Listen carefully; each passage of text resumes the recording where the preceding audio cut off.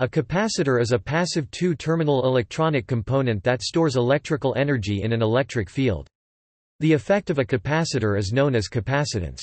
While some capacitance exists between any two electrical conductors in proximity in a circuit, a capacitor is a component designed to add capacitance to a circuit. The capacitor was originally known as a condenser or condensator. The original name is still widely used in many languages, but not commonly in English. The physical form and construction of practical capacitors vary widely and many capacitor types are in common use. Most capacitors contain at least two electrical conductors often in the form of metallic plates or surfaces separated by a dielectric medium. A conductor may be a foil, thin film, sintered bead of metal, or an electrolyte. The nonconducting dielectric acts to increase the capacitor's charge capacity. Materials commonly used as dielectrics include glass, ceramic, plastic film, paper, mica, and oxide layers. Capacitors are widely used as parts of electrical circuits in many common electrical devices. Unlike a resistor, an ideal capacitor does not dissipate energy. When two conductors experience a potential difference, for example, when a capacitor is attached across a battery, an electric field develops across the dielectric, causing a net positive charge to collect on one plate and net negative charge to collect on the other plate. No current actually flows through the dielectric, however, there is a flow of charge through the source circuit. If the condition is maintained sufficiently long, the current through the source circuit ceases.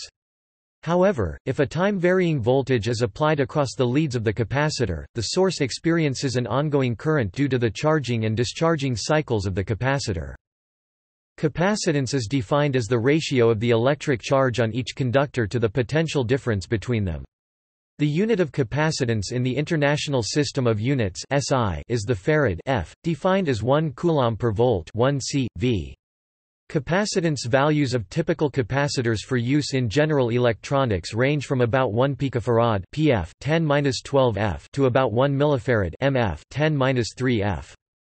The capacitance of a capacitor is proportional to the surface area of the plates conductors and inversely related to the gap between them.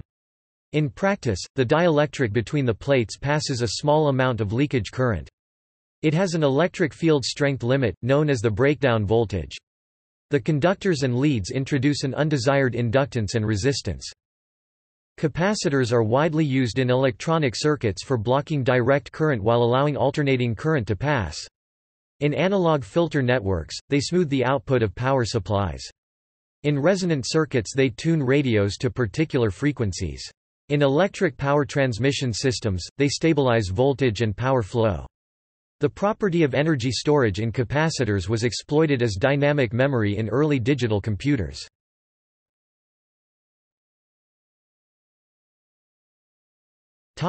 History In October 1745, Ewald Georg von Kleist of Pomerania, Germany, found that charge could be stored by connecting a high-voltage electrostatic generator by a wire to a volume of water in a handheld glass jar. Von Kleist's hand and the water acted as conductors, and the jar as a dielectric although details of the mechanism were incorrectly identified at the time. Von Kleist found that touching the wire resulted in a powerful spark, much more painful than that obtained from an electrostatic machine. The following year, the Dutch physicist Pieter van Musschenbroek invented a similar capacitor, which was named the Leyden jar, after the University of Leiden where he worked. He also was impressed by the power of the shock he received, writing, I would not take a second shock for the Kingdom of France. Daniel Gralath was the first to combine several jars in parallel to increase the charge storage capacity. Benjamin Franklin investigated the Leyden jar and came to the conclusion that the charge was stored on the glass, not in the water as others had assumed. He also adopted the term, battery, denoting the increasing of power with a row of similar units as in a battery of cannon, subsequently applied to clusters of electrochemical cells. Leyden jars were later made by coating the inside and outside of jars with metal foil, leaving a space at the mouth to prevent arcing between the foils. The earliest unit of capacitance was the jar, equivalent to about 1.11 nanofarads. Leyden jars or more powerful devices employing flat glass plates alternating with foil conductors were used exclusively up until about 1900, when the invention of wireless radio created a demand for standard capacitors, and the steady move to higher frequencies required capacitors with lower inductance. More compact construction methods began to be used, such as a flexible dielectric sheet like oiled paper sandwiched between sheets of metal foil, rolled or folded into a small package. Early capacitors were known as condensers, a term that is still occasionally used today, particularly in high-power applications, such as automotive systems. The term was first used for this purpose by Alessandro Volta in 1782, with reference to the device's ability to store a higher density of electric charge than was possible with an isolated conductor. The term became deprecated because of the ambiguous meaning of steam condenser, with capacitor becoming the recommended term from 1926. Since the beginning of the study of electricity, non conductive materials like glass, porcelain, paper, and mica have been used as insulators. These materials some decades later were also well suited for further use as the dielectric for the first capacitors. Paper capacitors made by sandwiching a strip of impregnated paper between strips of metal, and rolling the result into a cylinder were commonly used in the late 19th century. Their manufacture started in 1876, and they were used from the early 20th century as decoupling capacitors in telecommunications telephony. Porcelain was used in the first ceramic capacitors.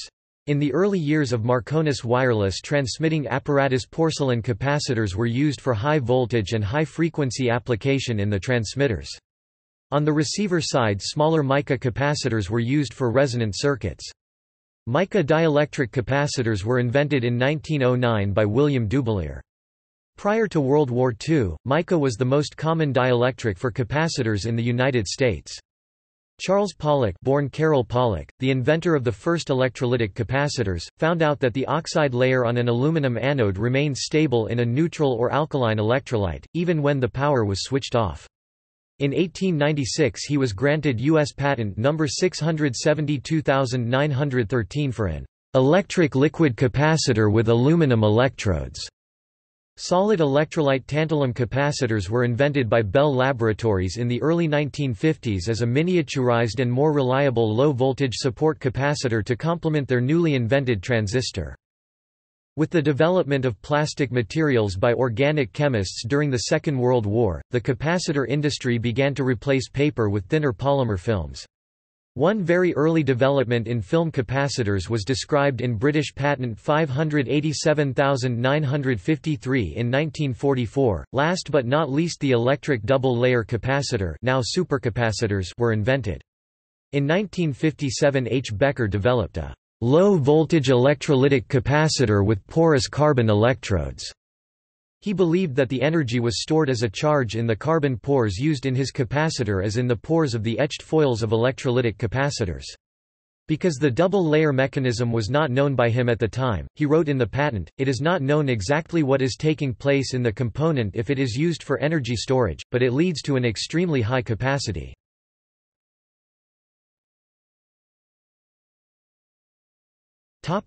Theory of operation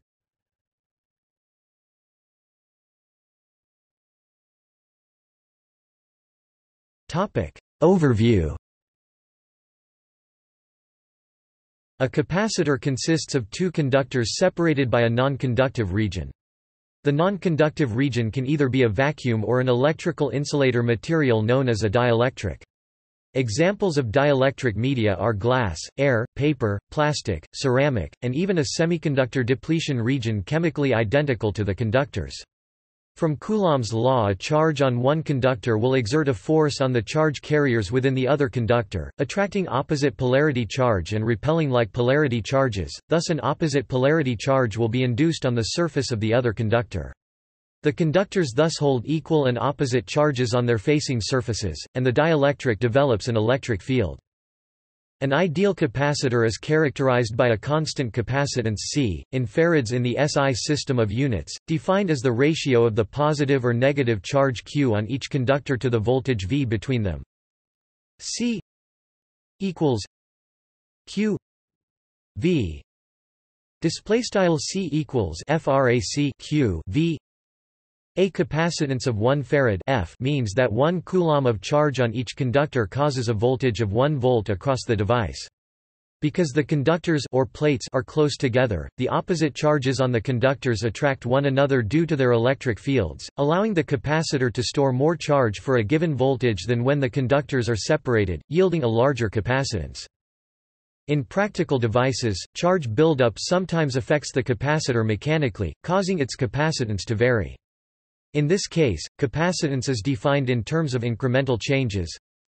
C equals D Q D V. Display style C equals frac mathrm D Q mathrm D V. Topic hydraulic analogy In the hydraulic analogy, charge carriers flowing through a wire are analogous to water flowing through a pipe. A capacitor is like a rubber membrane sealed inside a pipe. Water molecules cannot pass through the membrane, but some water can move by stretching the membrane. The analogy clarifies a few aspects of capacitors. The current alters the charge on a capacitor, just as the flow of water changes the position of the membrane. More specifically, the effect of an electric current is to increase the charge of one plate of the capacitor, and decrease the charge of the other plate by an equal amount. This is just as when water flow moves the rubber membrane, it increases the amount of water on one side of the membrane, and decreases the amount of water on the other side. The more a capacitor is charged, the larger its voltage drop, i.e., the more it pushes back against the charging current. This is analogous to the more a membrane is stretched, the more it pushes back on the water. Charge can flow through a capacitor even though no individual electron can get from one side to the other. This is analogous to water flowing through the pipe even though no water molecule can pass through the rubber membrane. The flow cannot continue in the same direction forever, the capacitor experiences dielectric breakdown, and analogously the membrane will eventually break. The capacitance describes how much charge can be stored on one plate of a capacitor for a given push voltage drop. A very stretchy, flexible membrane corresponds to a higher capacitance than a stiff membrane. A charged-up capacitor is storing potential energy, analogously to a stretched membrane.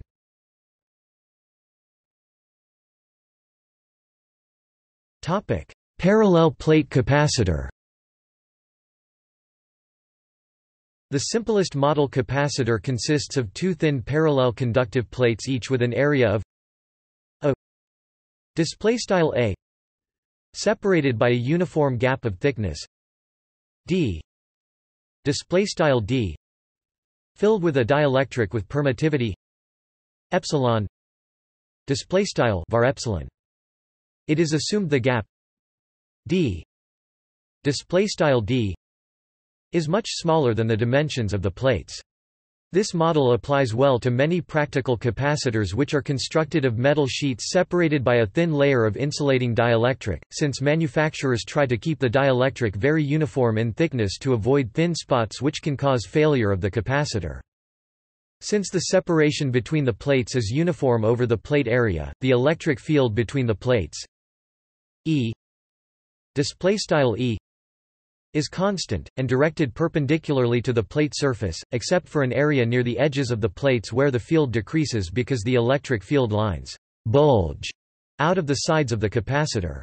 This fringing field area is approximately the same width as the plate separation d display style d and assuming d display style d is small compared to the plate dimensions, it is small enough to be ignored.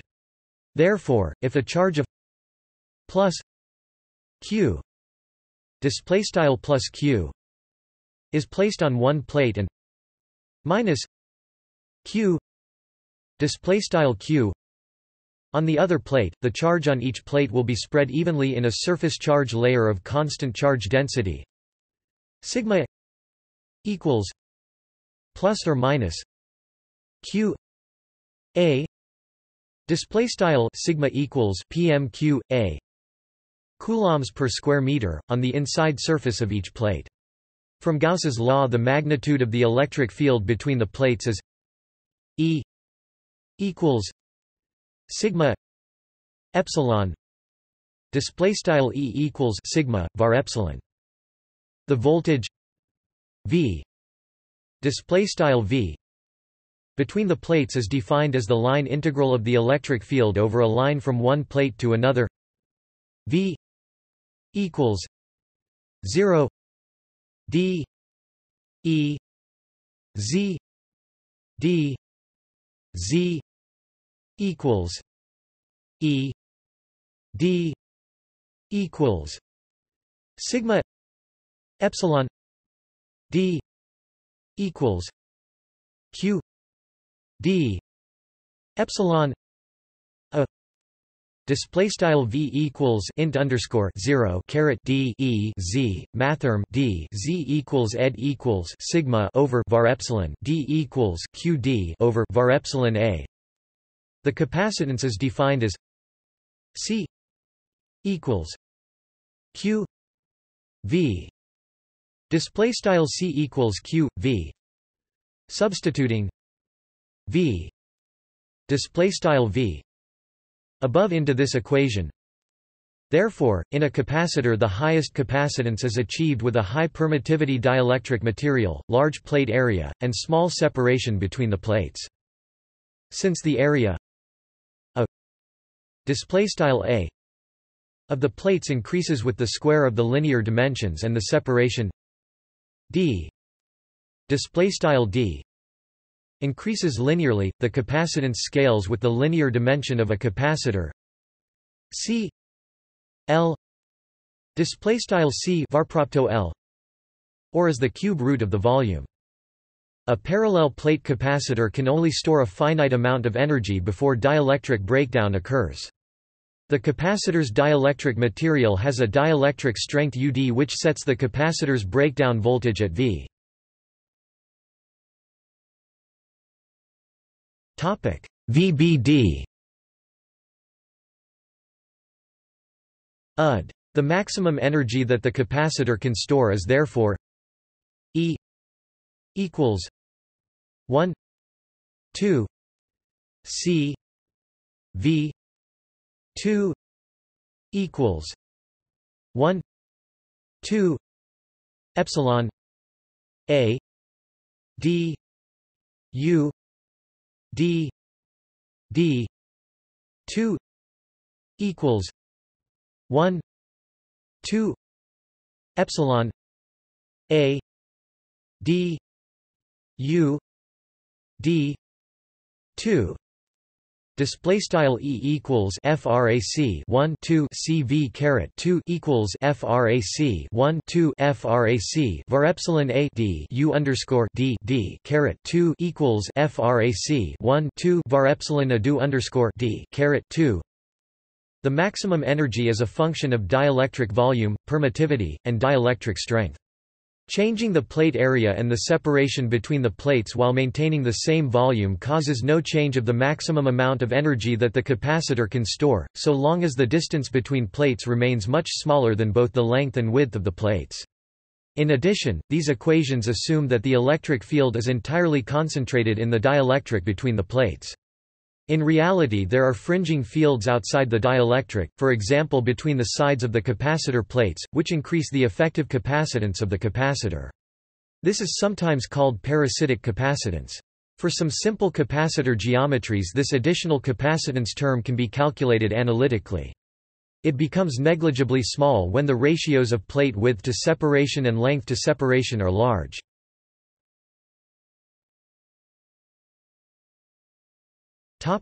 Interleaved capacitor. For n. Display style n.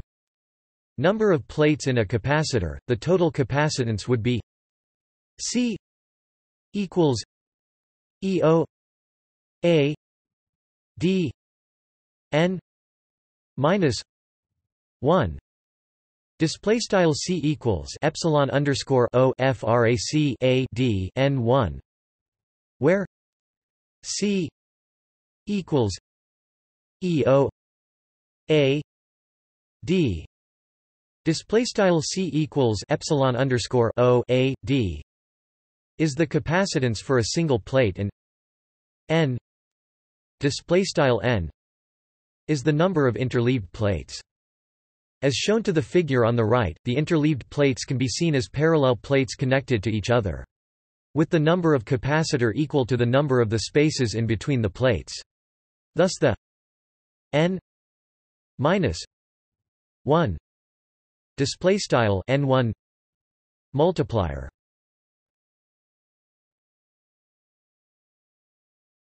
topic Energy stored in a capacitor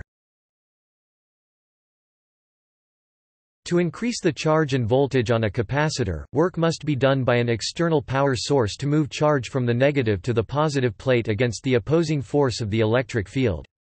If the voltage on the capacitor is V display style V the work d W display style dW required to move a small increment of charge d q display style dq from the negative to the positive plate as d w equals v d q. Display style dw equals v dq the energy is stored in the increased electric field between the plates. The total energy W display style W stored in a capacitor expressed in joule is equal to the total work done in establishing the electric field from an uncharged state. W equals 0 Q V Q D Q equals 0 Q Q C D Q equals one two Q two C equals one two V Q equals one two C V two Display style W equals int underscore zero caret Q V Q mathrm D Q equals int underscore zero caret Q FRAC Q C mathrm D Q equals one over two Q caret two over C equals one over two V Q equals one over two C V caret two. Where Q display style Q is the charge stored in the capacitor.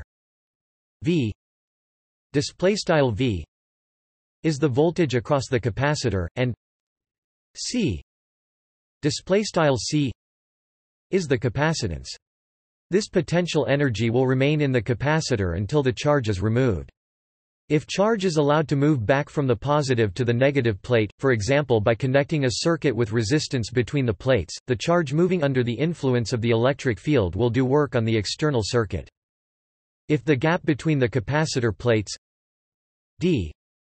Display style d is constant, as in the parallel plate model above, the electric field between the plates will be uniform neglecting fringing fields and will have a constant value.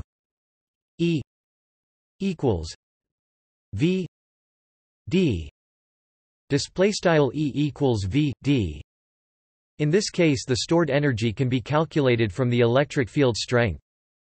W equals 1 2 C V 2 equals 1 2 E A D E D 2 equals 1 2 E A D E 2 equals 1 2 E E.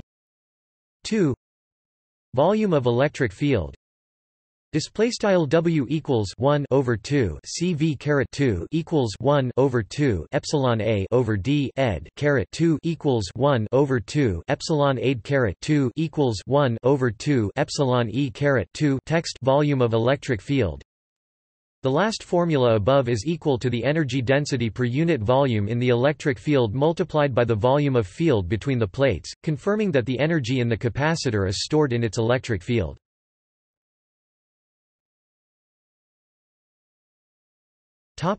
Current voltage relation The current I t through any component in an electric circuit is defined as the rate of flow of a charge q t passing through it, but actual charges—electrons, cannot pass through the dielectric layer of a capacitor. Rather, one electron accumulates on the negative plate for each one that leaves the positive plate, resulting in an electron depletion and consequent positive charge on one electrode that is equal and opposite to the accumulated negative charge on the other. Thus the charge on the electrodes is equal to the integral of the current as well as proportional to the voltage, as discussed above. As with any antiderivative, a constant of integration is added to represent the initial voltage V t0. This is the integral form of the capacitor equation.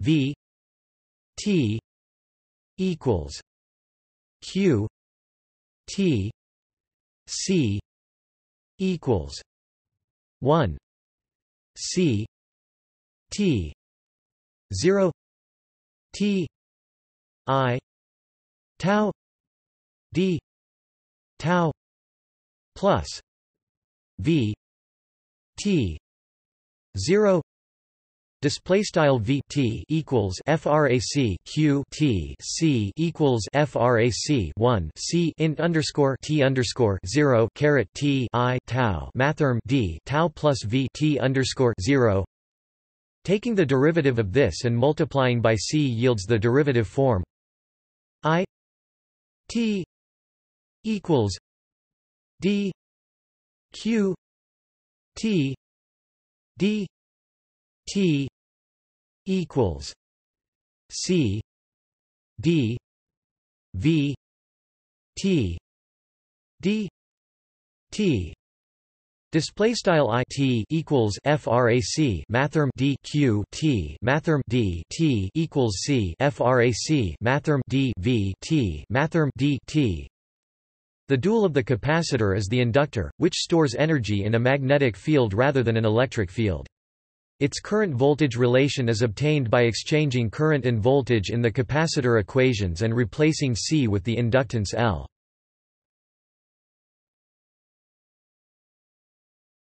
DC circuits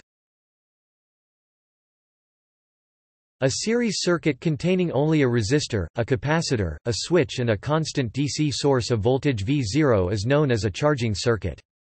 If the capacitor is initially uncharged while the switch is open, and the switch is closed at T0, it follows from Kirchhoff's voltage law that V 0 equals V resistor T plus V capacitor T equals I T R plus one C T zero T I tau D tau Display style v underscore zero equals v underscore text resistor t plus v underscore text capacitor t equals i t r plus frac one c int underscore t underscore zero caret t i tau mathrm d tau.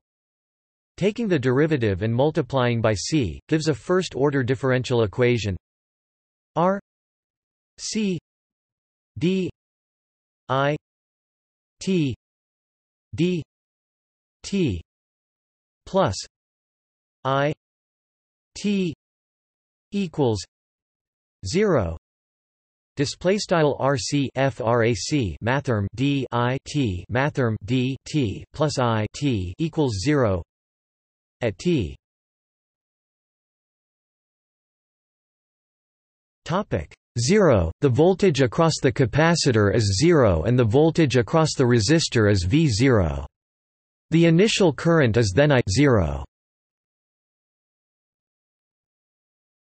V0, R. With this assumption, solving the differential equation yields I T equals V 0 R E minus T tau 0 V T equals V 0 1 minus E minus T tau 0 Q T equals C V 0 1 minus e minus t tau 0 display style begin aligned i t and equals frac v underscore 0 r c dot e caret frac t tau underscore 0 v t and equals v underscore 0 left 1 e caret frac t tau underscore 0 right q t and equals c c dot v underscore 0 left 1 e caret frac t tau underscore 0 right end aligned where where tau 0 equals Rc, the time constant of the system.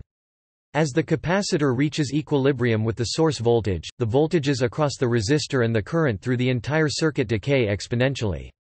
In the case of a discharging capacitor, the capacitor's initial voltage VCI replaces V0.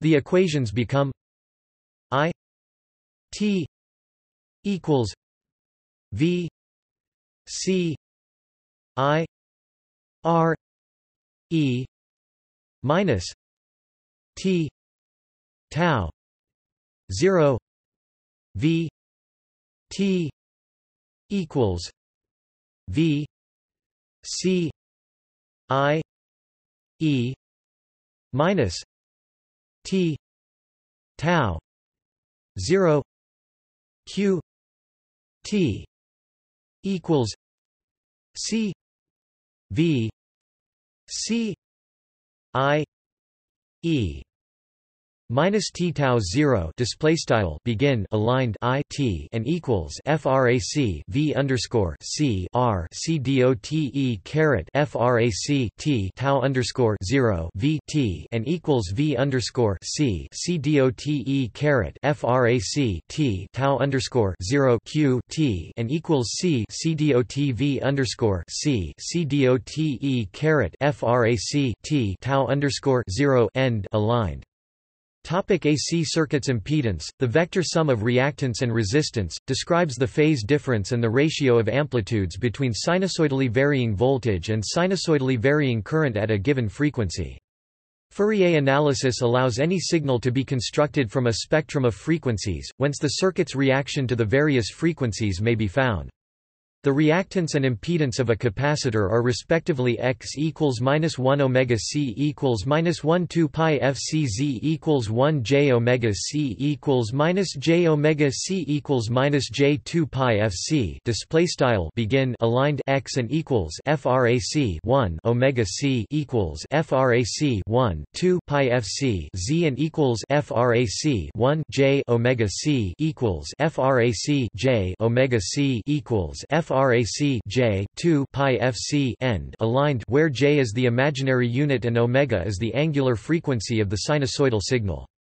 The minus j phase indicates that the AC voltage V equals Z lags the AC current by 90 degrees. The positive current phase corresponds to increasing voltage as the capacitor charges, zero current corresponds to instantaneous constant voltage, etc.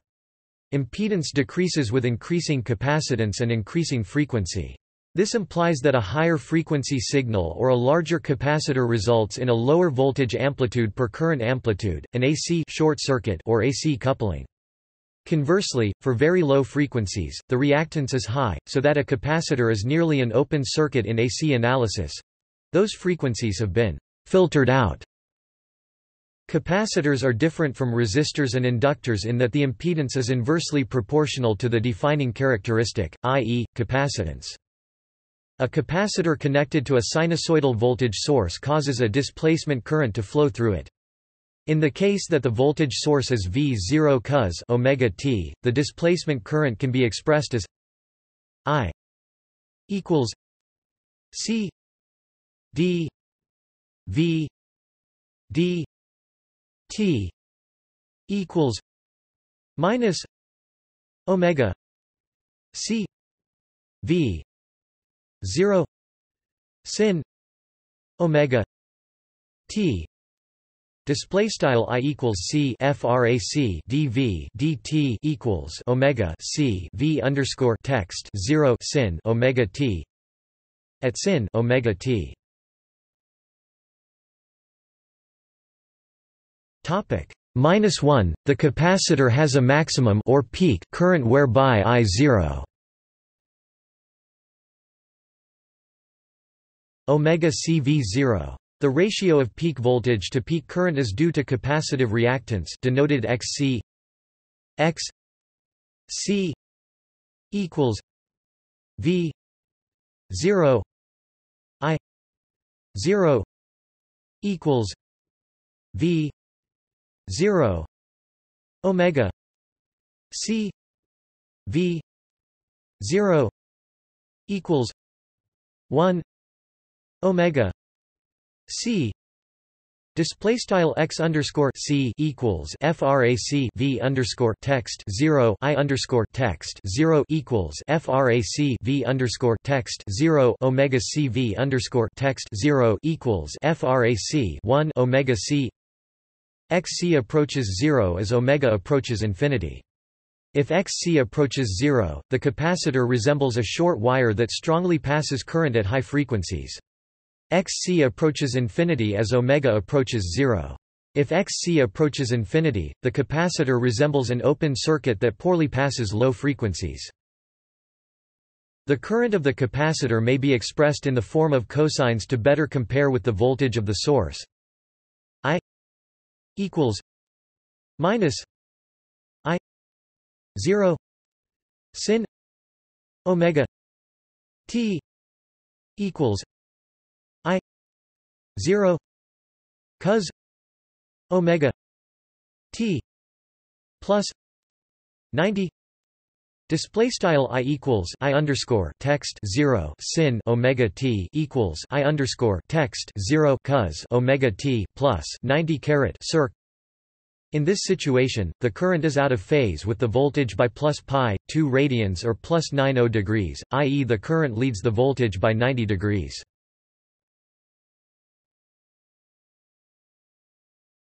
Topic: Laplace circuit analysis S-domain.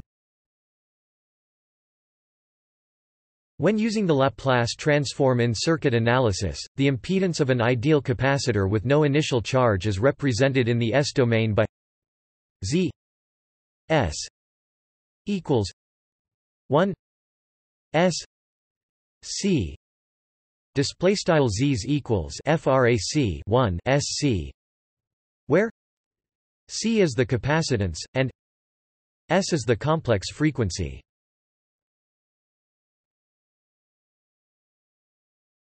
Topic: Circuit analysis. For capacitors in parallel Capacitors in a parallel configuration each have the same applied voltage. Their capacitances add up. Charge is apportioned among them by size. Using the schematic diagram to visualize parallel plates, it is apparent that each capacitor contributes to the total surface area. C E Q equals I C I equals C one plus C two plus plus C n Display style c underscore mathrm eq equals sum underscore i c underscore i equals c underscore one plus c underscore two plus c dots plus c underscore n. For capacitors in series connected in series, the schematic diagram reveals that the separation distance, not the plate area, adds up. The capacitors each store instantaneous charge buildup equal to that of every other capacitor in the series. The total voltage difference from end to end is apportioned to each capacitor according to the inverse of its capacitance. The entire series acts as a capacitor smaller than any of its components. 1 C E Q equals I 1 C I equals 1 C 1 plus 1 C 2 plus plus 1 C N Display style frac 1 c underscore mathrm eq equals sum underscore i frac 1 c underscore i equals frac 1 c underscore 1 plus frac 1 c underscore 2 plus c dots plus frac 1 c underscore n Capacitors are combined in series to achieve a higher working voltage, for example for smoothing a high voltage power supply. The voltage ratings, which are based on plate separation, add up, if capacitance and leakage currents for each capacitor are identical. In such an application, on occasion, series strings are connected in parallel, forming a matrix. The goal is to maximize the energy storage of the network without overloading any capacitor. For high-energy storage with capacitors in series, some safety considerations must be applied to ensure one capacitor failing and leaking current does not apply too much voltage to the other series capacitors. Series connection is also sometimes used to adapt polarized electrolytic capacitors for bipolar AC use. See electrolytic capacitor hashtag designing for reverse bias, voltage distribution in parallel to series networks. To model the distribution of voltages from a single charged capacitor. A display style left a right connected in parallel to a chain of capacitors in series. B n display style left b underscore text n right. V o l t s a e q equals a 1 minus 1 n plus 1 v o l t s b 1 n equals a n 1 minus 1 n plus 1 a minus b equals 0 display style begin aligned volts a underscore mathrm eq and equals a left 1 frac 1 n plus 1 right volts b underscore text 1 n and equals frac a n left 1 frac 1 n plus 1 right a b and equals 0 end aligned note this is only correct if all capacitance values are equal the power transferred in this arrangement is P equals 1 R 1 N plus 1 a volts a farads plus B farads Display style p equals frac 1 r c dot frac 1 n plus 1 a underscore text volts left a underscore text farads plus b underscore text farads right. Topic: Non-ideal behavior.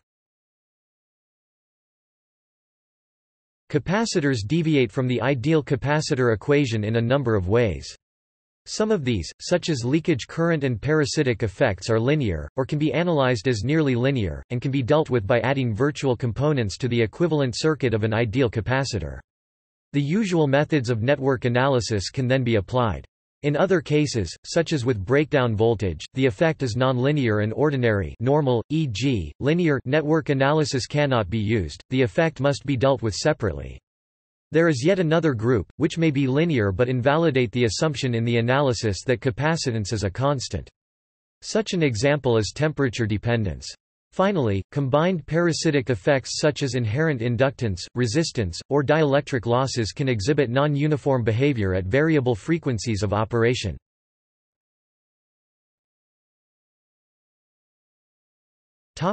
Breakdown voltage Above a particular electric field, known as the dielectric strength EDs, the dielectric in a capacitor becomes conductive.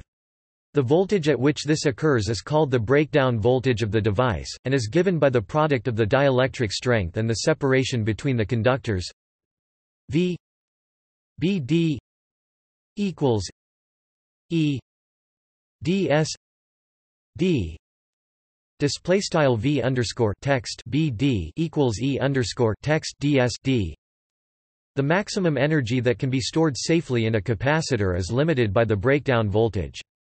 Due to the scaling of capacitance and breakdown voltage with dielectric thickness, all capacitors made with a particular dielectric have approximately equal maximum energy density, to the extent that the dielectric dominates their volume. For air dielectric capacitors the breakdown field strength is of the order 2 to 5 MV per meter or kilovolt per millimeter. For mica the breakdown is 100 to 300 MV per meter, for oil, 15 to 25 MV per meter. It can be much less when other materials are used used for the dielectric. The dielectric is used in very thin layers and so absolute breakdown voltage of capacitors is limited. Typical ratings for capacitors used for general electronics applications range from a few volts to 1 kV. As the voltage increases, the dielectric must be thicker, making high-voltage capacitors larger per capacitance than those rated for lower voltages. The breakdown voltage is critically affected by factors such as the geometry of the capacitor conductive parts, sharp edges or points increase the electric field strength at that point and can lead to a local breakdown. Once this starts to happen, the breakdown quickly tracks through the dielectric until it reaches the opposite plate, leaving carbon behind and causing a short or relatively low resistance circuit. The results can be explosive as the short in the capacitor draws current from the surrounding circuitry and dissipates the energy. However, in capacitors with particular dielectrics and thin metal electrodes shorts are not formed after breakdown. It happens because a metal melts or evaporates in a breakdown vicinity, isolating it from the rest of the capacitor. The usual breakdown route is that the field strength becomes large enough to pull electrons in the dielectric from their atoms thus causing conduction. Other scenarios are possible, such as impurities in the dielectric, and, if the dielectric is of a crystalline nature, imperfections in the crystal structure can result in an avalanche breakdown as seen in semiconductor devices.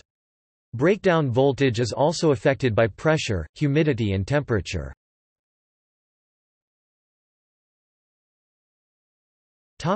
Equivalent circuit An ideal capacitor only stores and releases electrical energy, without dissipating any. In reality, all capacitors have imperfections within the capacitor's material that create resistance. This is specified as the equivalent series resistance or ESR of a component. This adds a real component to the impedance Z C equals Z plus R ESR equals 1 j omega c plus r esr display style z underscore text c equals z plus r underscore text esr equals frac 1 j omega c plus r underscore text esr as frequency approaches infinity, the capacitive impedance or reactance approaches zero and the ESR becomes significant. As the reactance becomes negligible, power dissipation approaches PRMS equals VRMS squared, RESR. Similarly to ESR, the capacitor's leads add equivalent series inductance or ESL to the component. This is usually significant only at relatively high frequencies. As inductive reactance is positive and increases with frequency, above a certain frequency capacitance is cancelled by inductance. High-frequency engineering involves accounting for the inductance of all connections and components. If the conductors are separated by a material with a small conductivity rather than a perfect dielectric, then a small leakage current flows directly between them. The capacitor therefore has a finite parallel resistance, and slowly discharges over time time may vary greatly depending on the capacitor material and quality.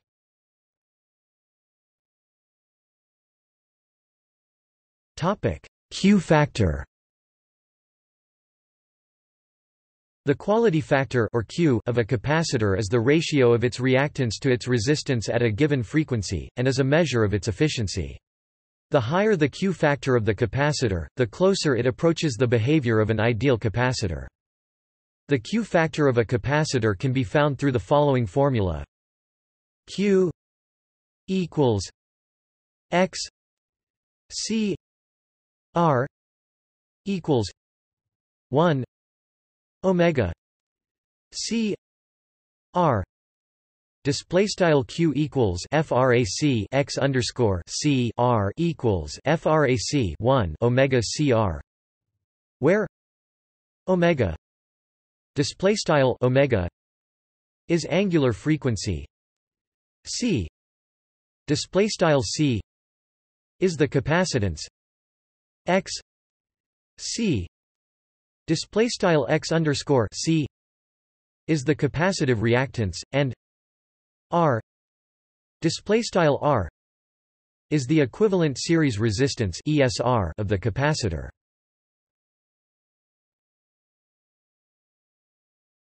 Topic: Ripple current. Ripple current is the AC component of an applied source often a switched-mode power supply whose frequency may be constant or varying. Ripple current causes heat to be generated within the capacitor due to the dielectric losses caused by the changing field strength together with the current flow across the slightly resistive supply lines or the electrolyte in the capacitor. The equivalent series resistance ESR is the amount of internal series resistance one would add to a perfect capacitor to model this. Some types of capacitors, primarily tantalum and aluminum electrolytic capacitors, as well as some film capacitors have a specified rating value for maximum ripple current. Tantalum electrolytic capacitors with solid manganese dioxide electrolyte are limited by ripple current and generally have the highest ESR ratings in the capacitor family. Exceeding their ripple limits can lead to shorts and burning parts. Aluminum electrolytic capacitors, the most common type of electrolytic, suffer a shortening of life expectancy at higher ripple currents. If ripple current exceeds the rated value of the capacitor, it tends to result in explosive failure. Ceramic capacitors generally have no ripple current limitation and have some of the lowest ESR ratings. Film capacitors have very low ESR ratings but exceeding rated ripple current may cause degradation failures.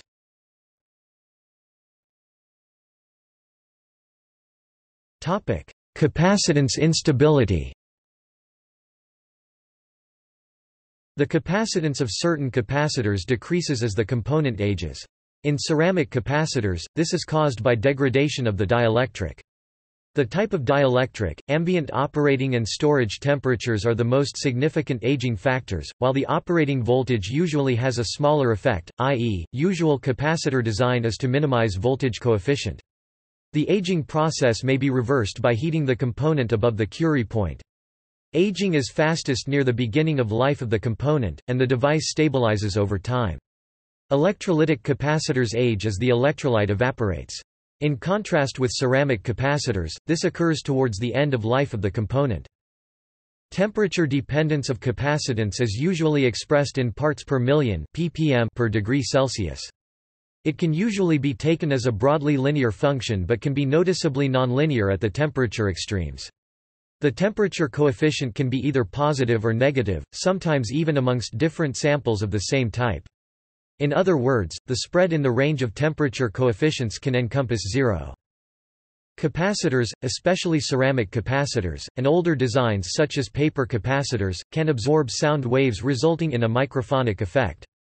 Vibration moves the plates, causing the capacitance to vary, in turn inducing AC current. Some dielectrics also generate piezoelectricity. The resulting interference is especially problematic in audio applications, potentially causing feedback or unintended recording. In the reverse microphonic effect, the varying electric field between the capacitor plates exerts a physical force, moving them as a speaker. This can generate audible sound, but drains energy and stresses the dielectric and the electrolyte, if any.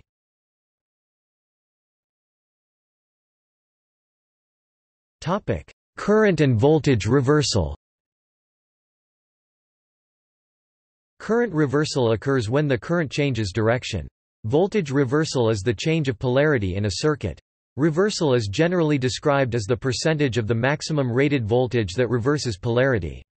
In DC circuits, this is usually less than 100%, often in the range of 0 to 90%, whereas AC circuits experience 100% reversal. In DC circuits and pulsed circuits, current and voltage reversal are affected by the damping of the system.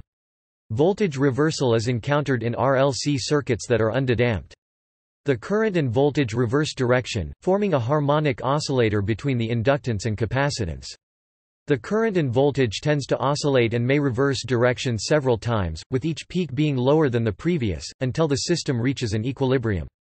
This is often referred to as ringing.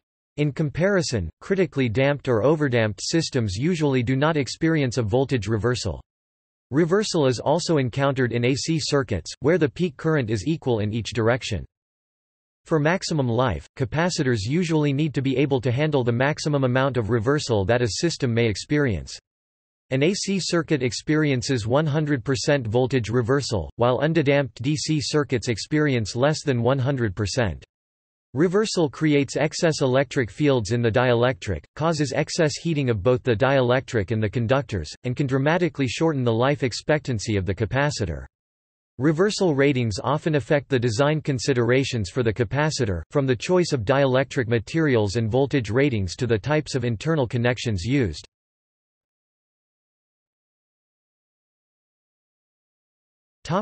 Dielectric absorption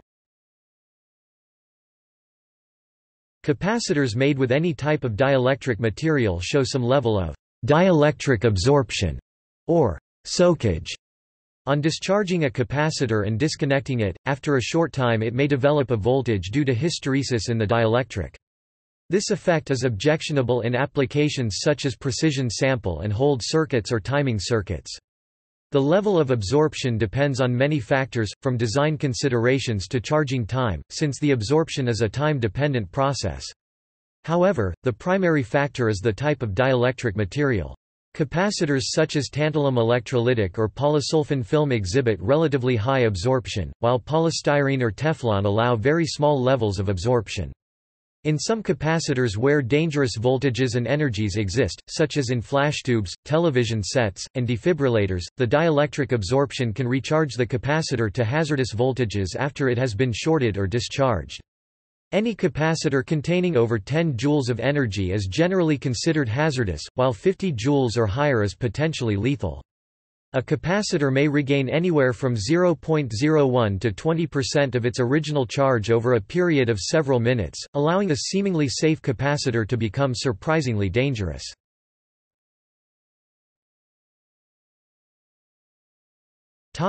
Leakage Leakage is equivalent to a resistor in parallel with the capacitor.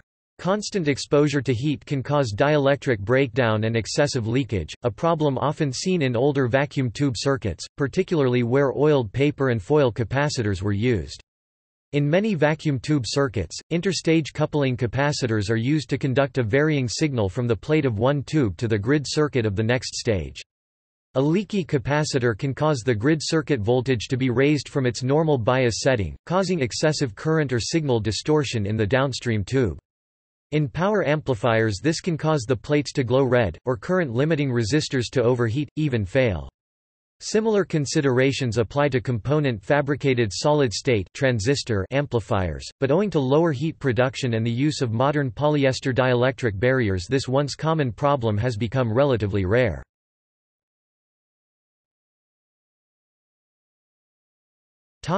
Electrolytic failure from disuse Aluminum electrolytic capacitors are conditioned when manufactured by applying a voltage sufficient to initiate the proper internal chemical state. This state is maintained by regular use of the equipment. If a system using electrolytic capacitors is unused for a long period of time it can lose its conditioning. Sometimes they fail with a short circuit when next operated.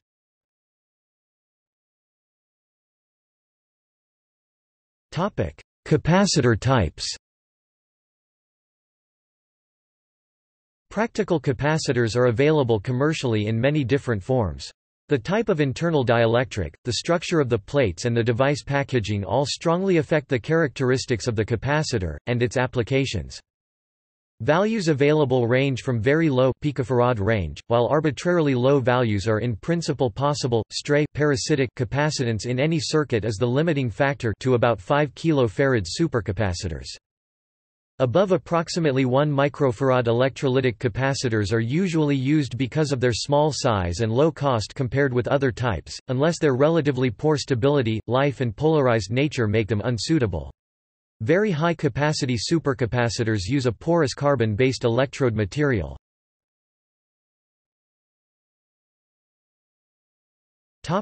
Dielectric materials Most capacitors have a dielectric spacer, which increases their capacitance compared to air or a vacuum. In order to maximize the charge that a capacitor can hold, the dielectric material needs to have as high a permittivity as possible, while also having as high a breakdown voltage as possible. The dielectric also needs to have as low a loss with frequency as possible. However, low-value capacitors are available with a vacuum between their plates to allow extremely high voltage operation and low losses. Variable capacitors with their plates open to the atmosphere were commonly used in radio tuning circuits. Later designs use polymer foil dielectric between the moving and stationary plates, with no significant air space between the plates. Several solid dielectrics are available, including paper, plastic, glass, mica and ceramic. Paper was used extensively in older capacitors and offers relatively high voltage performance. However, paper absorbs moisture, and has been largely replaced by plastic film capacitors. Most of the plastic films now used offer better stability and aging performance than such older dielectrics such as oiled paper, which makes them useful in timer circuits, although they may be limited to relatively low operating temperatures and frequencies, because of the limitations of the plastic film being used. Large plastic film capacitors are used extensively in suppression circuits, motor start circuits, and power factor correction circuits. Ceramic capacitors are generally small, cheap and useful for high-frequency applications, although their capacitance varies strongly with voltage and temperature and they age poorly. They can also suffer from the piezoelectric effect. Ceramic capacitors are broadly categorized as Class I dielectrics, which have predictable variation of capacitance with temperature or Class II dielectrics, which can operate at higher voltage.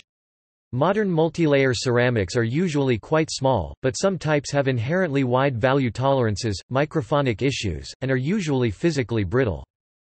Glass and mica capacitors are extremely reliable, stable and tolerant to high temperatures and voltages, but are too expensive for most mainstream applications.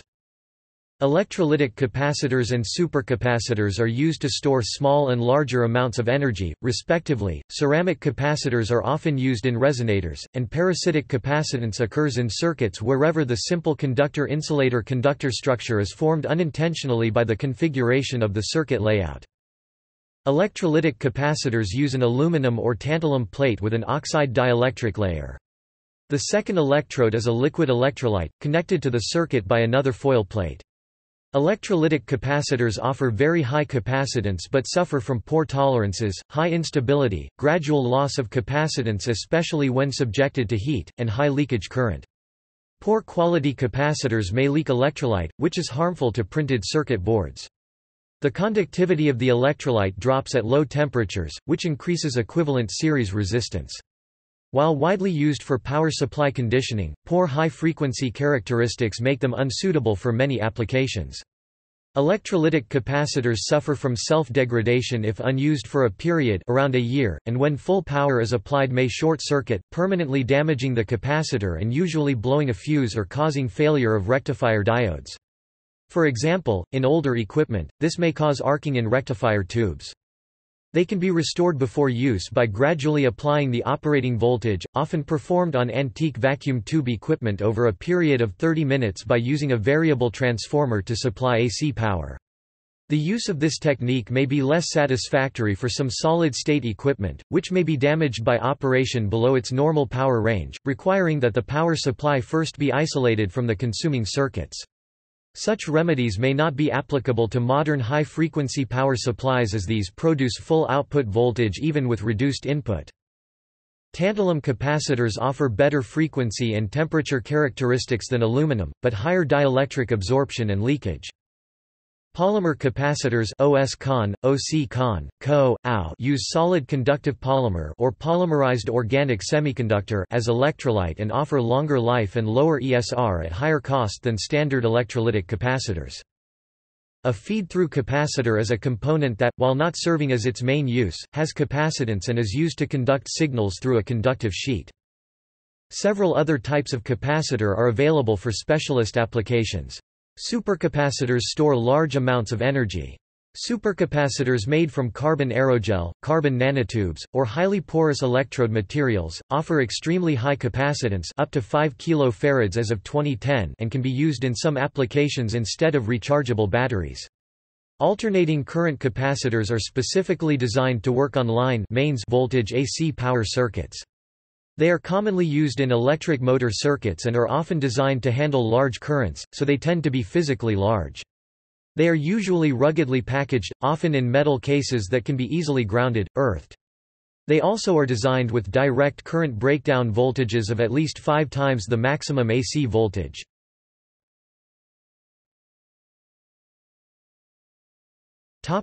Voltage-dependent capacitors The dielectric constant for a number of very useful dielectrics changes as a function of the applied electrical field, for example ferroelectric materials, so the capacitance for these devices is more complex. For example, in charging such a capacitor the differential increase in voltage with charge is governed by d q equals c v d v display style dq equals c v dv where the voltage dependence of capacitance, C v, suggests that the capacitance is a function of the electric field strength, which in a large area parallel plate device is given by epsilon equals v, d. This field polarizes the dielectric, which polarization, in the case of a ferroelectric, is a nonlinear S-shaped function of the electric field, which, in the case of a large area parallel plate device, translates into a capacitance that is a nonlinear function of the voltage, corresponding to the voltage-dependent capacitance. To charge the capacitor to voltage V an integral relation is found Q equals 0 V C V d v display style q equals int underscore 0 caret v c v dv which agrees with q equals cv only when c does not depend on voltage v. By the same token the energy stored in the capacitor now is given by d w equals q d v equals 0 v d v c v d v Display style dw equals q dv equals left int underscore zero caret v dv c v right dv. Integrating w equals zero v d v 0 v d v c v equals 0 v d v v v d v c v equals 0 v d v v minus v c v Display style W equals int underscore zero caret V DV int underscore zero caret V DV C V equals int underscore zero caret V DV int underscore V caret V DV C V equals int underscore zero caret V DV left VV right C V where interchange of the order of integration is used. The nonlinear capacitance of a microscope probe scanned along a ferroelectric surface is used to study the domain structure of ferroelectric materials. Another example of voltage dependent capacitance occurs in semiconductor devices such as semiconductor diodes, where the voltage dependence stems not from a change in dielectric constant but in a voltage dependence of the spacing between the charges on the two sides of the capacitor. Template Z. This effect is intentionally exploited in diode like devices known as varicaps.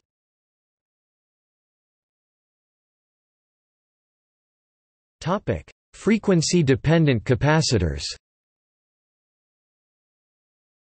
If a capacitor is driven with a time-varying voltage that changes rapidly enough, at some frequency the polarization of the dielectric cannot follow the voltage.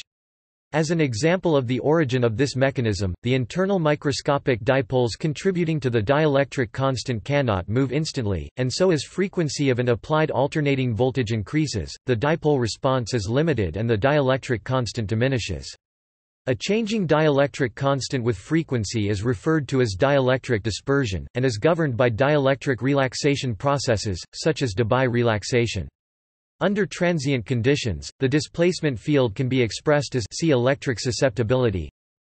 D t equals epsilon 0 minus infinity t epsilon r t minus t e t d t Display style bold symbol d t equals var epsilon underscore zero int underscore inft caret t var epsilon underscore r t t bold symbol e t d t indicating the lag in response by the time dependence of epsilon r, calculated in principle from an underlying microscopic analysis, for example, of the dipole behavior in the dielectric. See, for example, linear response function. The integral extends over the entire past history up to the present time. A Fourier transform in time then results in d omega equals epsilon 0 epsilon r omega e omega Display style bold symbol d omega equals var epsilon underscore zero var epsilon underscore r omega bold symbol e omega, where epsilon r omega is now a complex function with an imaginary part related to absorption of energy from the field by the medium. See permittivity. The capacitance, being proportional to the dielectric constant, also exhibits this frequency behavior. Fourier transforming Gauss's law with this form for displacement field omega equals j omega q omega equals j omega sigma d r omega d sigma Display style i omega equals j omega q omega equals j omega oint underscore sigma bold symbol d bold symbol r omega c dot d bold symbol sigma equals g omega plus j omega c omega v omega equals v omega z omega. Display style equals left g omega plus j omega c omega right v omega equals frac v omega z omega. Where j is the imaginary unit v omega is the voltage component at angular frequency omega g omega is the real part of the current called the conductance and c omega determines the imaginary part of the current and is the capacitance Z omega is the complex impedance.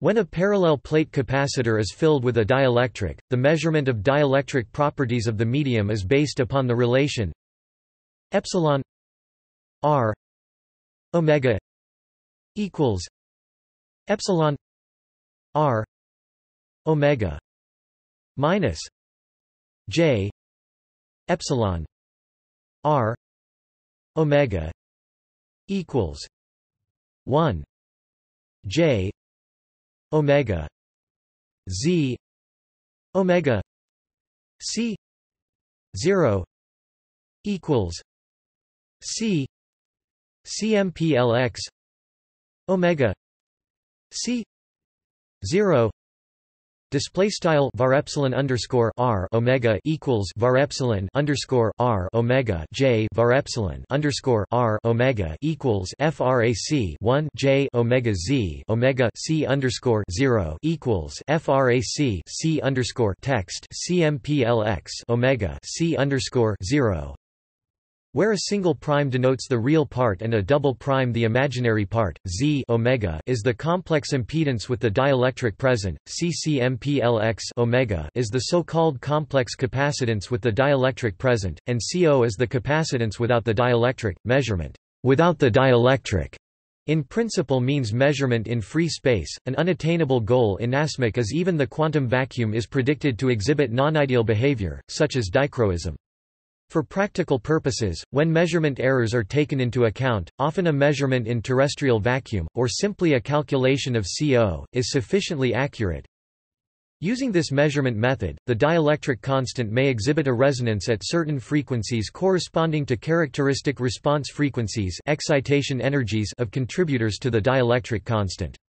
These resonances are the basis for a number of experimental techniques for detecting defects.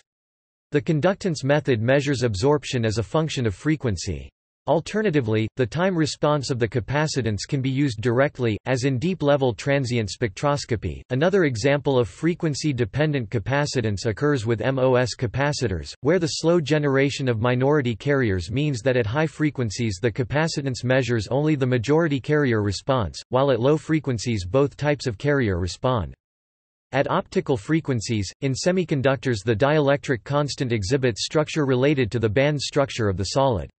Sophisticated modulation spectroscopy measurement methods based upon modulating the crystal structure by pressure or by other stresses and observing the related changes in absorption or reflection of light have advanced our knowledge of these materials.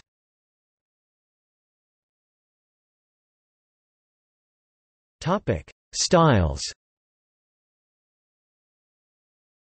The arrangement of plates and dielectric has many variations in different styles depending on the desired ratings of the capacitor. For small values of capacitance microfarads and less, ceramic discs use metallic coatings, with wire leads bonded to the coating. Larger values can be made by multiple stacks of plates and discs. Larger value capacitors usually use a metal foil or metal film layer deposited on the surface of a dielectric film to make the plates, and a dielectric film of impregnated paper or plastic, these are rolled up to save space. To reduce the series resistance and inductance for long plates, the plates and dielectric are staggered so that connection is made at the common edge of the rolled-up plates, not at the ends of the foil or metallized film strips that comprise the plates.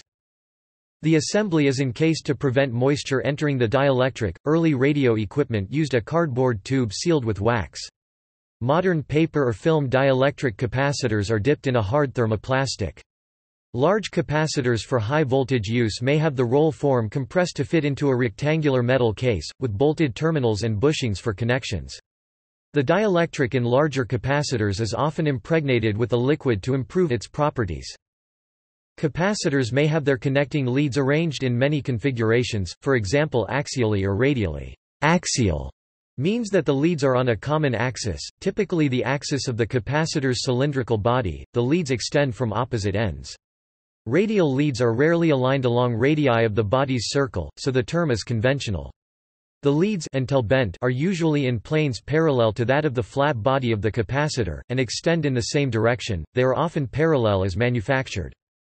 Small, cheap discoidal ceramic capacitors have existed from the 1930s onward, and remain in widespread use. After the 1980s, surface mount packages for capacitors have been widely used.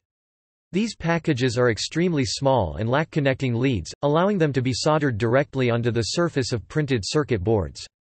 Surface mount components avoid undesirable high-frequency effects due to the leads and simplify automated assembly, although manual handling is made difficult due to their small size.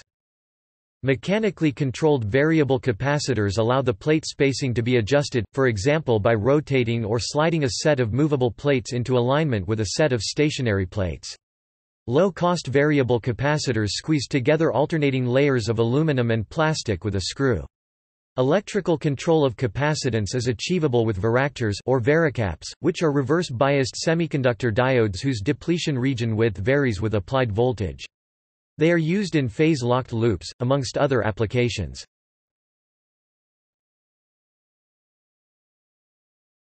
Capacitor markings Most capacitors have numbers printed on their bodies to indicate their electrical characteristics. Larger capacitors like electrolytics usually display the actual capacitance together with the unit, for example, 220 microfarads. Smaller capacitors like ceramics, however, use a shorthand notation consisting of three digits and a letter, where the digits indicate the capacitance in pf, calculated as xy times 10z for digits xyz, and the letter indicates the tolerance. Common tolerance indications are J, K, and M for plus or minus 5%, plus or minus 10%, and plus or minus 20%, respectively. Additionally, the capacitor may be labeled with its working voltage, temperature and other relevant characteristics. For typographical reasons, some manufacturers print MF on capacitors to indicate microfarads μF. Example A capacitor labeled or designated as 473 K 330 volts has a capacitance of 47 times 103 picofarads equals 47 nanofarads plus or minus 10% with a maximum working voltage of 330 V. The working voltage of a capacitor is nominally the highest voltage that may be applied across it without undue risk of breaking down the dielectric layer. equals RKM code equals the notation to state a capacitor's value in a circuit diagram varies.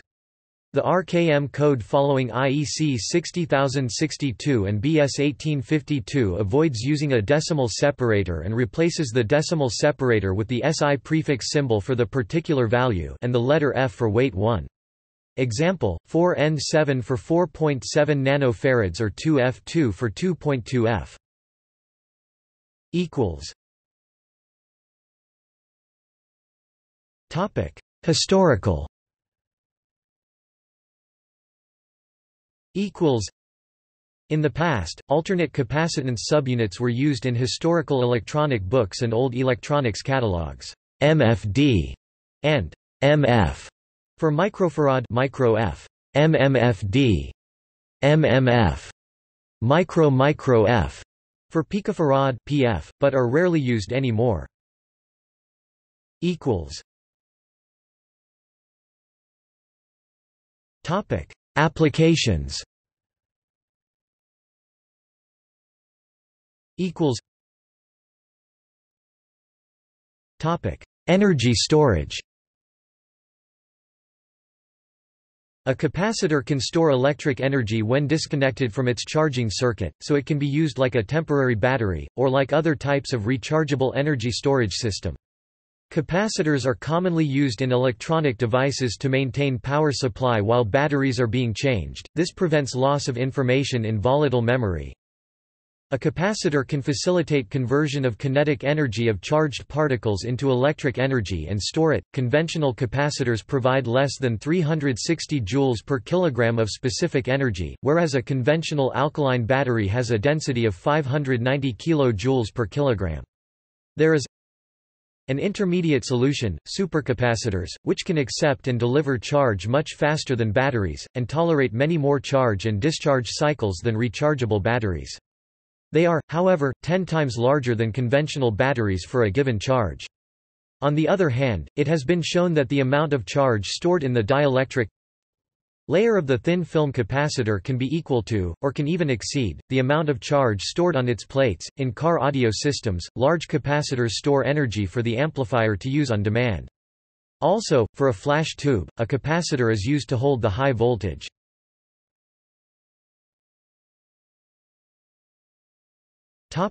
Digital memory.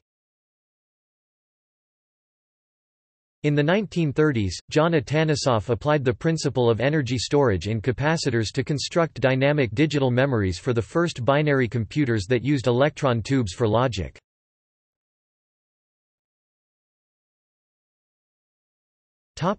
Pulsed power and weapons Groups of large, specially constructed, low-inductance high-voltage capacitors capacitor banks are used to supply huge pulses of current for many pulsed power applications. These include electromagnetic forming, Marx generators, pulsed lasers especially TEA-lasers, pulse-forming networks, radar, fusion research, and particle accelerators. Large capacitor banks reservoir are used as energy sources for the exploding bridgewire detonators or slapper detonators in nuclear weapons and other specialty weapons. Experimental work is underway using banks of capacitors as power sources for electromagnetic armor and electromagnetic railguns and coilguns.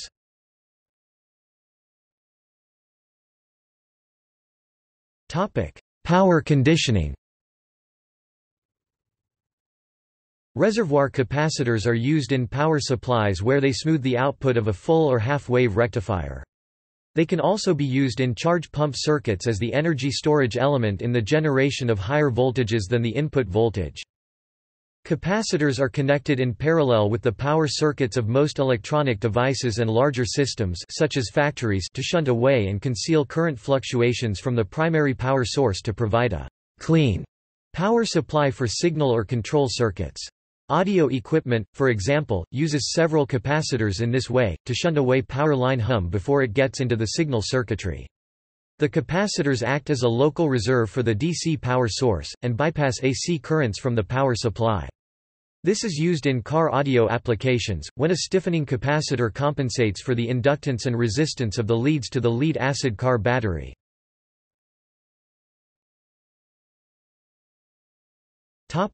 Power factor correction In electric power distribution, capacitors are used for power factor correction. Such capacitors often come as three capacitors connected as a three-phase load. Usually, the values of these capacitors are not given in farads but rather as a reactive power in volt-amperes reactive VAR. The purpose is to counteract inductive loading from devices like electric motors and transmission lines to make the load appear to be mostly resistive. Individual motor or lamp loads may have capacitors for power factor correction, or larger sets of capacitors usually with automatic switching devices may be installed at a load center within a building or in a large utility substation.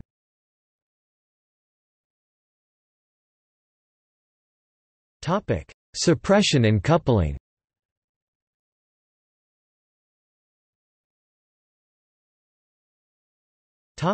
Signal coupling Because capacitors pass AC but block DC signals when charged up to the applied DC voltage, they are often used to separate the AC and DC components of a signal. This method is known as AC coupling or capacitive coupling. Here, a large value of capacitance, whose value need not be accurately controlled, but whose reactance is small at the signal frequency, is employed.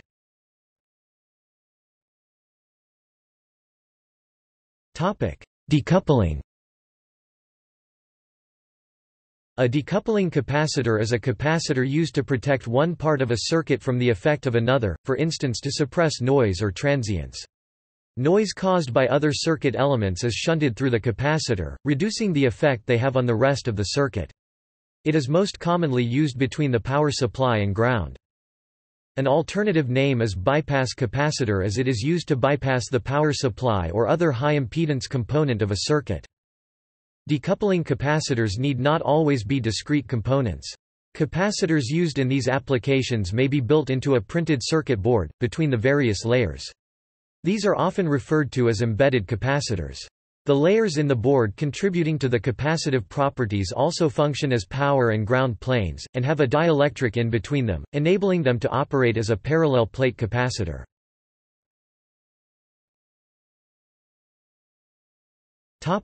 High-pass and low-pass filters.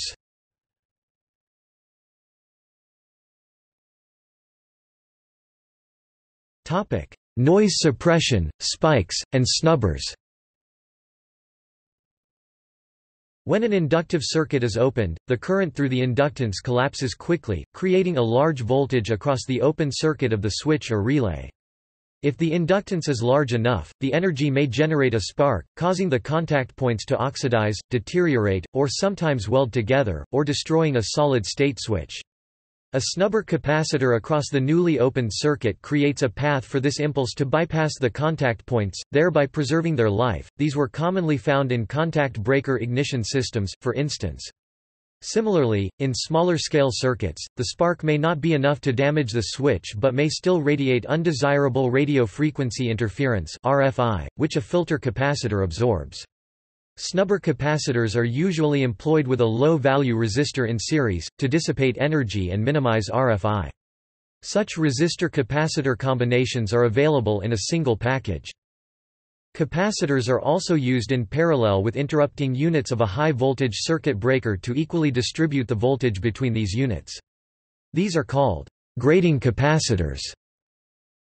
In schematic diagrams, a capacitor used primarily for DC charge storage is often drawn vertically in circuit diagrams with the lower, more negative, plate drawn as an arc. The straight plate indicates the positive terminal of the device, if it is polarized see electrolytic capacitor.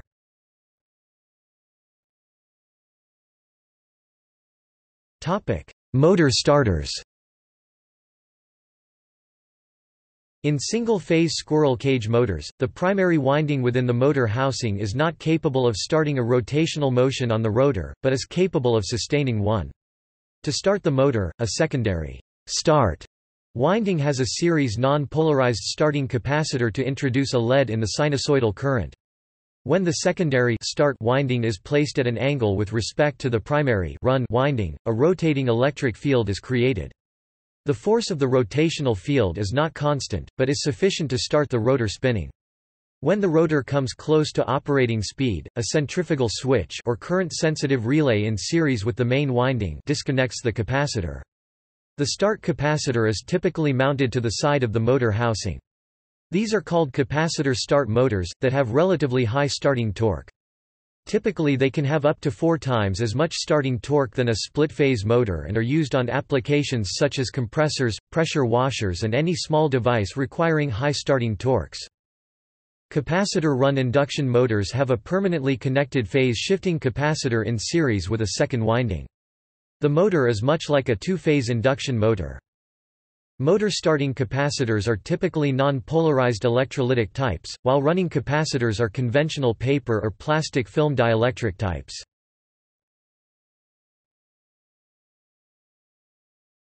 Topic: Signal processing The energy stored in a capacitor can be used to represent information, either in binary form, as in DRAMs, or in analog form, as in analog sampled filters and CCDs. Capacitors can be used in analog circuits as components of integrators or more complex filters and in negative feedback loop stabilization. Signal processing circuits also use capacitors to integrate a current signal.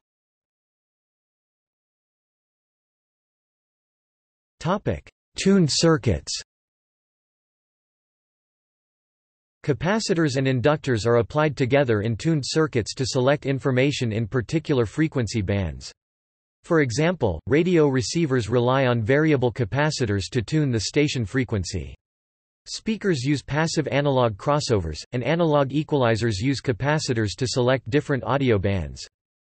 The resonant frequency f of a tuned circuit is a function of the inductance L and capacitance C in series, and is given by f equals 1 2 pi L C. Display style F equals frac 1 2 pi sqrt LC where L is in henries and C is in farads.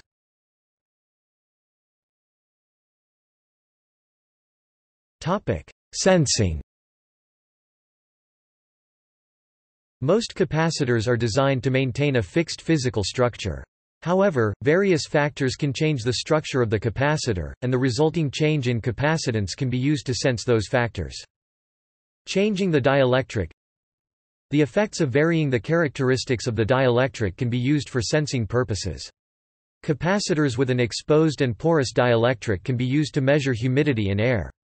Capacitors are used to accurately measure the fuel level in airplanes. As the fuel covers more of a pair of plates, the circuit capacitance increases.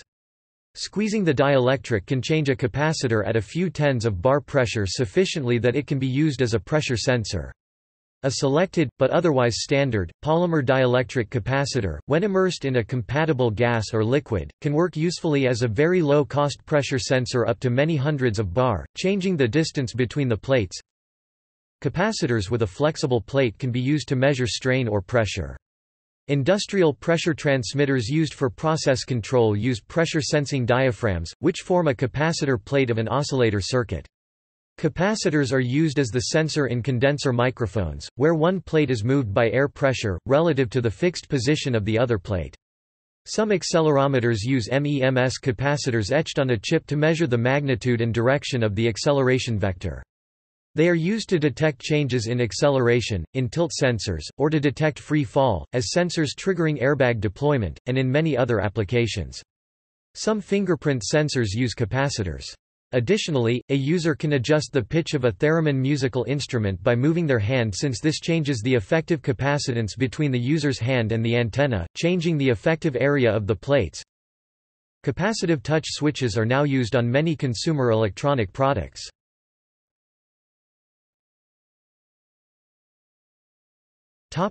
Oscillators A capacitor can possess spring-like qualities in an oscillator circuit. In the image example, a capacitor acts to influence the biasing voltage at the NPN transistor's base. The resistance values of the voltage divider resistors and the capacitance value of the capacitor together control the oscillatory frequency.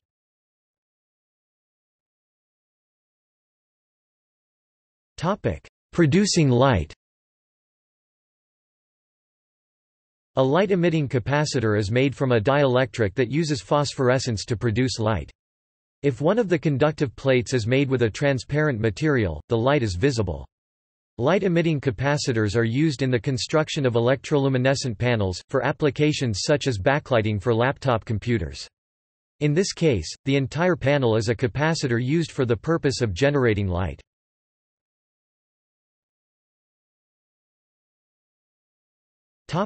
Hazards and safety The hazards posed by a capacitor are usually determined, foremost, by the amount of energy stored, which is the cause of things like electrical burns or heart fibrillation. Factors such as voltage and chassis material are of secondary consideration, which are more related to how easily a shock can be initiated rather than how much damage can occur. Under certain conditions, including conductivity of the surfaces, pre-existing medical conditions, the humidity of the air, or the pathways it takes through the body i.e., shocks that travel across the core of the body and, especially, the heart are more dangerous than those limited to the extremities. Shocks as low as 1 joule have been reported to cause death, although in most instances they may not even leave a burn. Shocks over 10 joules will generally damage skin, and are usually considered hazardous. Any capacitor that can store 50 joules or more should be considered potentially lethal. Capacitors may retain a charge long after power is removed from a circuit. This charge can cause dangerous or even potentially fatal shocks or damage connected equipment. For example, even a seemingly innocuous device such as a disposable camera flash unit, powered by a 1.5-volt AA battery, has a capacitor which may contain over 15 joules of energy and be charged to over 300 volts. This is easily capable of delivering a shock. Service procedures for electronic devices usually include instructions to discharge large or high voltage capacitors, for instance using a Brinkley stick. Capacitors may also have built-in discharge resistors to dissipate stored energy to a safe level within a few seconds after power is removed. High-voltage capacitors are stored with the terminals shorted, as protection from potentially dangerous voltages due to dielectric absorption or from transient voltages the capacitor may pick up from static charges or passing weather events. Some old, large oil-filled paper or plastic film capacitors contain polychlorinated biphenyls PCBs. It is known that waste PCBs can leak into groundwater under landfills. Capacitors containing PCB were labeled as containing Askarel and several other trade names. PCB-filled paper capacitors are found in very old pre-1975 fluorescent lamp ballasts, and other applications. Capacitors may catastrophically fail when subjected to voltages or currents beyond their rating, or as they reach their normal end of life. Dielectric or metal interconnection failures may create arcing that vaporizes the dielectric fluid, resulting in case bulging, rupture, or even an explosion. Capacitors used in RF or sustained high current applications can overheat, especially in the center of the capacitor rolls. Capacitors used within high-energy capacitor banks can violently explode when a short in one capacitor causes sudden dumping of energy stored in the rest of the bank into the failing unit. High-voltage vacuum capacitors can generate soft X-rays even during normal operation. Proper containment, fusing, and preventive maintenance can help to minimize these hazards. High-voltage capacitors may benefit from a pre-charge to limit in-rush currents at power-up of high-voltage direct current circuits.